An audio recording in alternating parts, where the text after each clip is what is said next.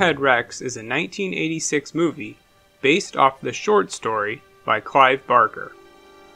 Apparently, Barker was not happy with the film, and it inspired him to have more involvement with his future projects like Hellraiser.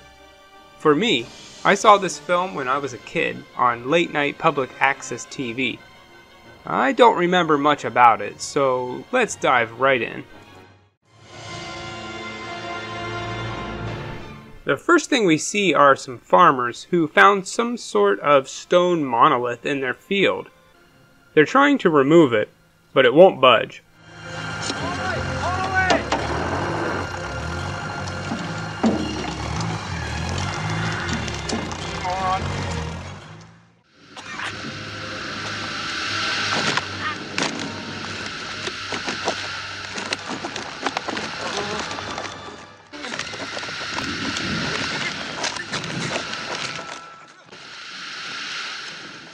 Out of nowhere, the sky grows dark, and lightning strikes the stone, heating it up red hot.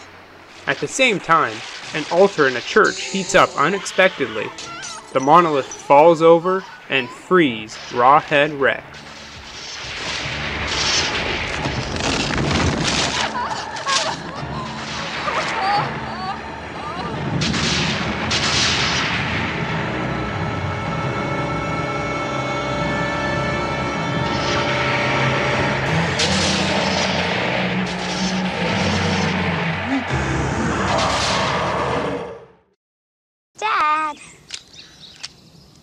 What? What's the problem? Mom says it's gonna rain. Why don't you stop taking down photographs? Next, we are introduced to the main character of the film, an American named Howard Hallenbeck. I like him. He seems down to earth and relatable. He's a writer who has come to Ireland to study churches, and specifically the ancient sites that the churches were built on. Tell her about 10 minutes, okay? She's mad with you. Oh, all right, all right. Just uh, tell her five. Look, I have to see somebody in the church about this site, okay? Then can we go home? I'm bored. Bored? Robbie, how can you be bored? This is the land of your forefathers, remember? Yeah, and they left. Tell her five minutes.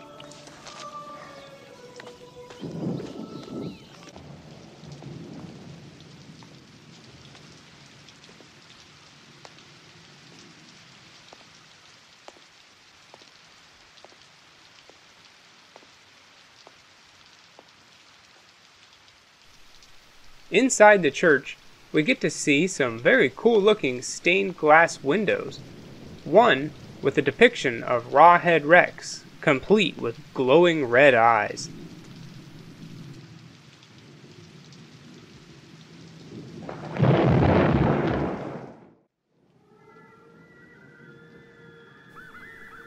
A priest who goes by Declan O'Brien, which is about the most Irish name I've ever heard, touches the altar, which seems to change him, making him a crazed follower of Rawhead.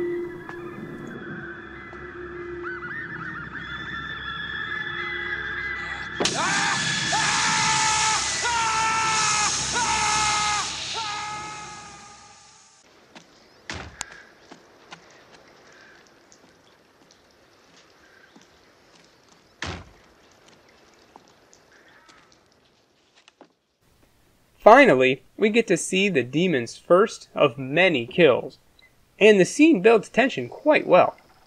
You know Rawhead is in the barn, but they keep cutting back to a lady chopping up meat. It makes me really nervous, like she's gonna cut one of her fingers off.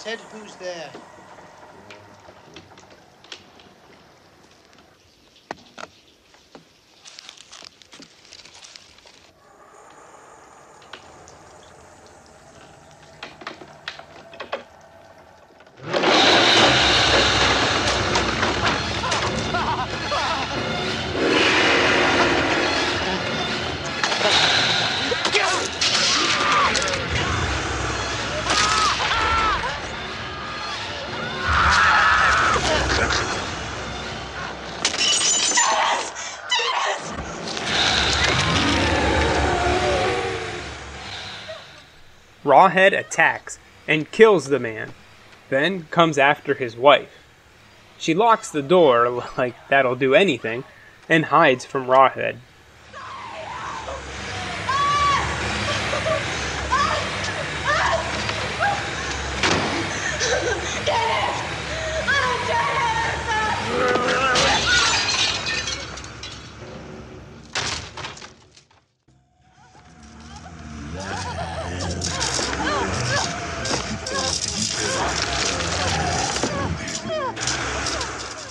He catches up with her pretty quickly, and he goes for the kill, but he sees that she's pregnant and spares her. So, Rawhead is either a really nice guy and doesn't want to kill pregnant women, or for some reason he fears her. Hmm, I wonder which one it is. Next, we see a campground where two brothers are fighting. The older one just wants to make out with his girlfriend, while the younger one is being an annoying twerp.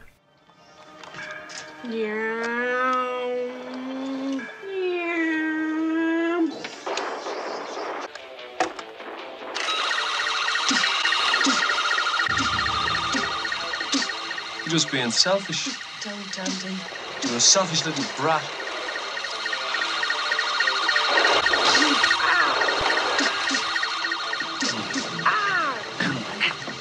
You can watch the television.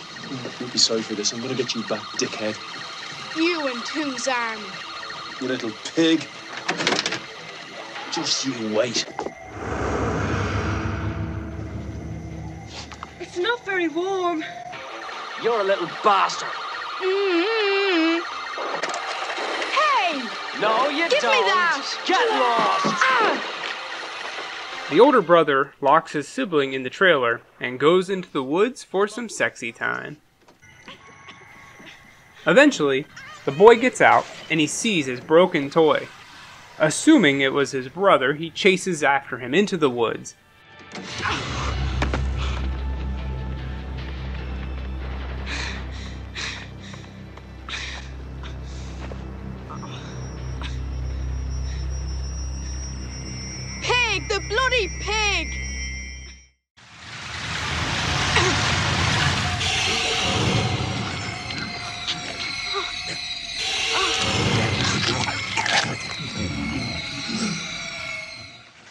Sees Rawhead eating his first victim. Understandably freaked out by this, the boy runs back to the campground, but he is unable to speak.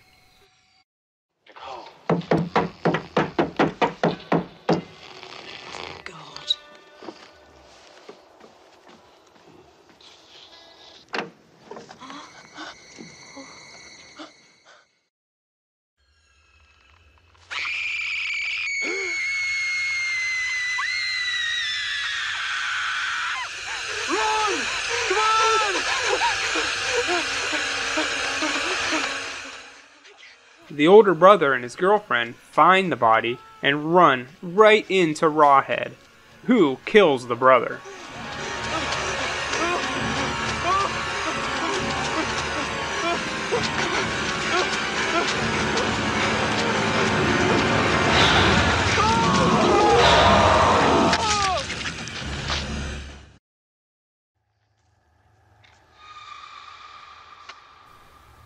Howard can't sleep, so he goes out for a walk and catches his first glimpse of Rawhead Rex.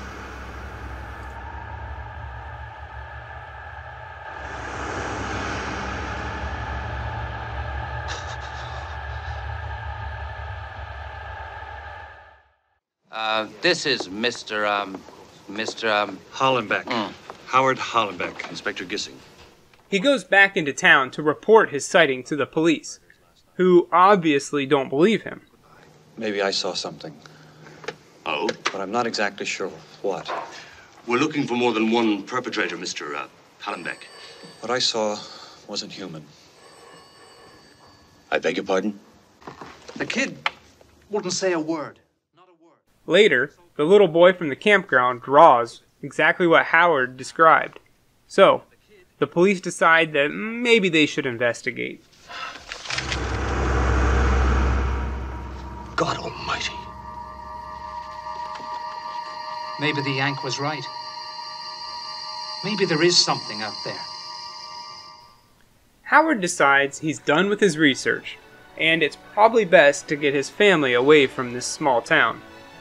But of course, early on in their trip, his daughter has to go pee. I gotta pee.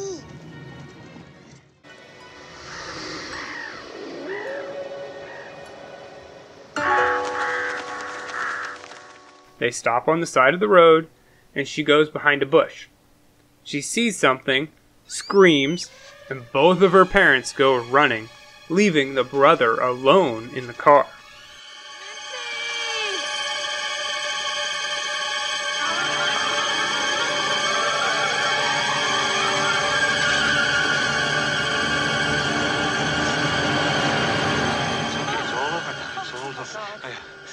It turns out the girl was just afraid of some dead rabbit or something, but it was plenty of time for Rawhead to attack the boy. Howard chases after him, but it's too late. Robbie, no. No.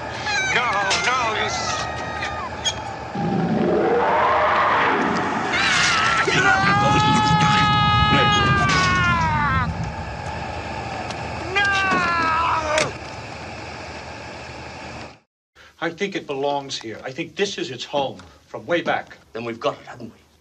If this is his territory, it'll come back, sooner or later. All we have to do is wait. Howard goes back to the police station, determined to hunt the creature himself if the police won't do anything about it. Mr. Hallenbeck, we understand how you feel. You have no idea how I feel!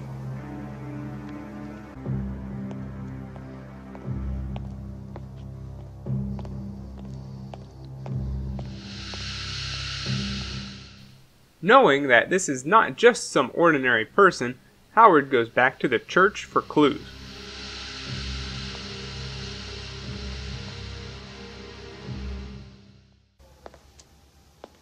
I've just heard about your son. My condolences.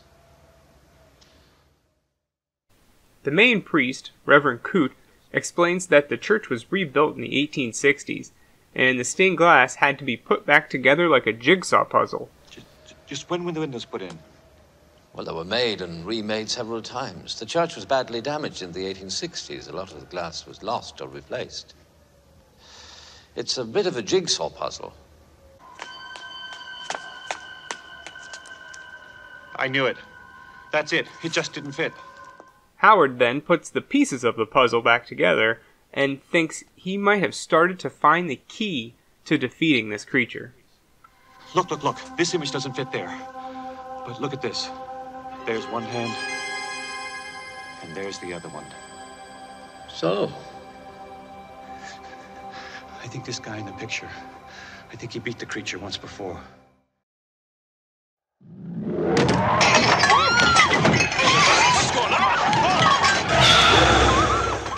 Back at the campground, Rawhead flips a camper over.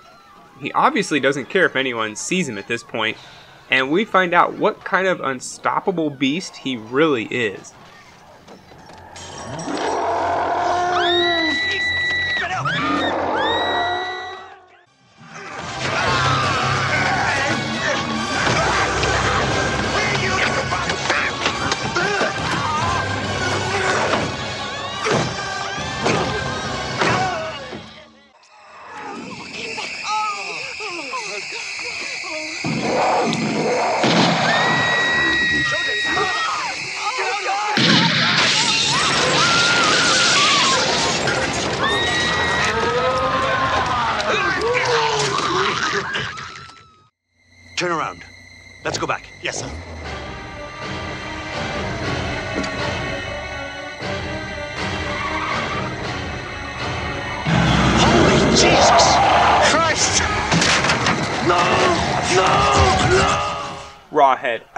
Attacks the inspector, and the deputy actually leaves him and just drives away.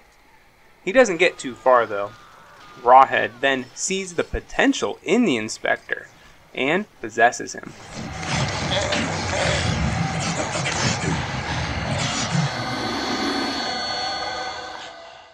Uh, Mr. Hallenbeck, Gissing here yet? He's very busy at the moment. Listen, it's very important that I talk to him. Mr. Hallenbeck, you've already made your feelings perfectly clear. The inspector will see you as soon as he can. Now, I have to pause for a moment. I will usually edit out any bad language in a movie because I feel it doesn't add anything. But for this movie, I have to make an exception. Oh, in the meantime, can I get you a cup of tea? Why'd you go fuck yourself? Hmm. I'll pass that suggestion along. Oh, you do that.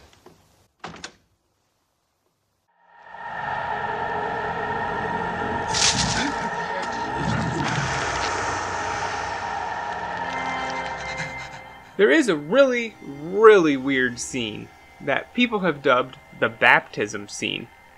Basically, Rawhead takes a piss on the possessed priest.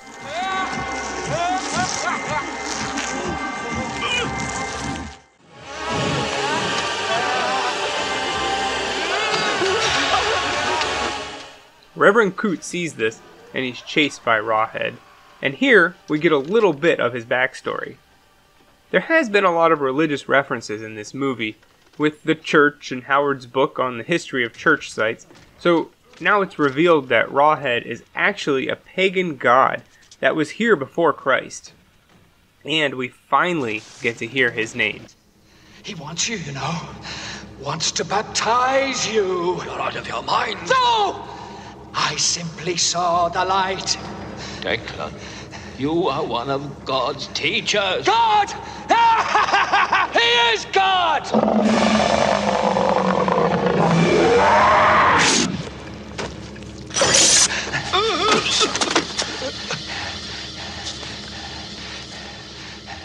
The parish records. He was here before Christ, before civilization. He was king here. Rawhead. That's what they called him. Rawhead!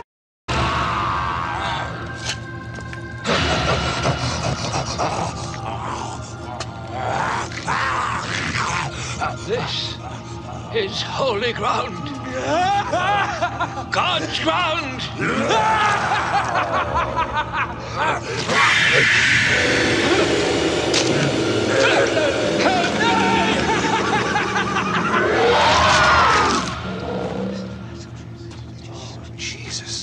Jesus. What was that? Hey, Keep them back! Out of the line of fire! Come on back! Come on back! Rawhead gets Reverend Coote and carries him out for all to see. He is still alive, so the police won't shoot. Meanwhile, the possessed inspector lights everyone on fire.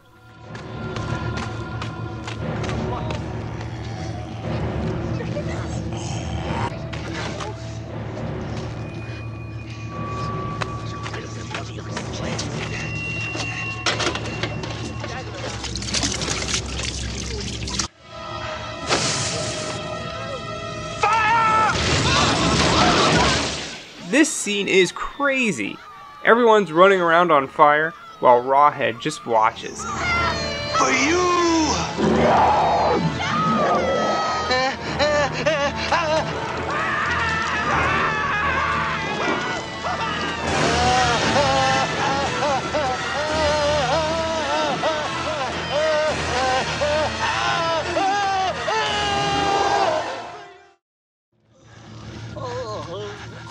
Get some help.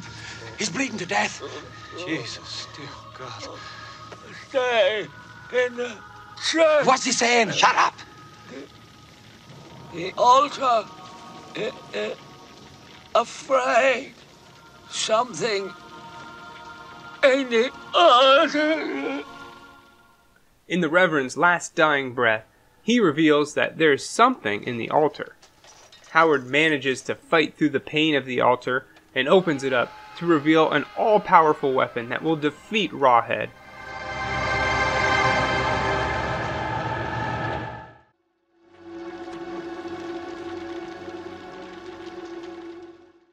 It's a stone. In all seriousness, though, this stone is of a pregnant woman, which explains why he was afraid of the pregnant lady from the beginning. There he is!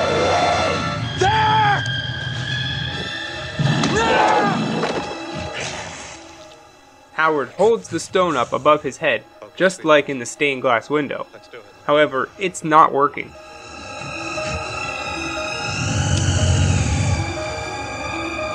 Okay, do it. Come on.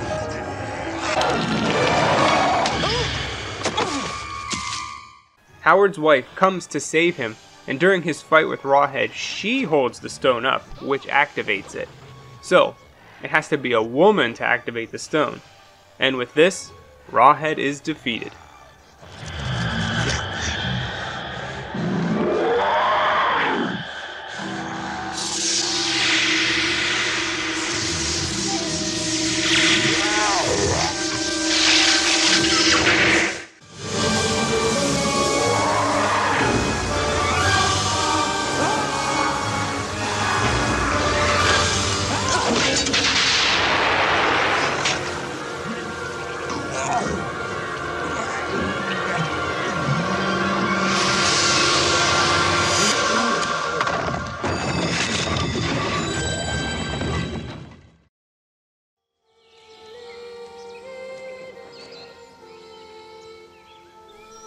Of course, this is an 80s horror movie, so it's not the end of Rawhead.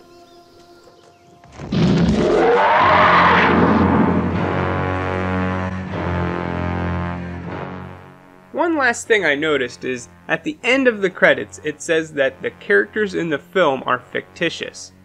Oh, good, thanks. I thought Rawhead Rex was real. So, some final thoughts on this film after rewatching it. And I'd say it's pretty good. It would be just a normal run of the mill 80s horror film, but Howard really carries the show. I like Rawhead too. Some criticize the look of the monster, but I think it's alright. You see him a lot. It's not just in low lighting either, you see him during the day. Because I watched this when I was a kid, my dad would always tease me that Rawhead would get me, so I do see him in my nightmares. I guess I'm a little nostalgic, but I think it deserves a little bit more credit. It's no masterpiece, but it should have more than the small cult following it currently has. I give it 3 out of 4 graveyard baptisms. It doesn't care about you. When it's finished with you, what will it do with you? I hope